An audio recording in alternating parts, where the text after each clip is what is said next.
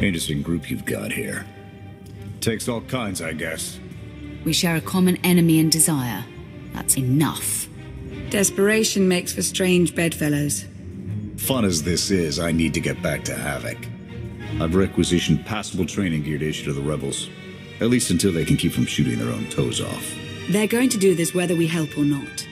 Teaching them how to is what's best for them and us. A more rigorous analysis would suggest the cost benefit is more strictly in their favor. If we succeed at fostering a rebellion on Zakuul, it may hamper Arcann long enough for the rest of the galaxy to strike back. It is not my understanding of the situation that needs to be corrected. Pushy droid you've got. You don't want to call her that. What? Pushy? Droid. the extent of my being is beyond your comprehension. Yeah, clearly. If you need me, you know where to look.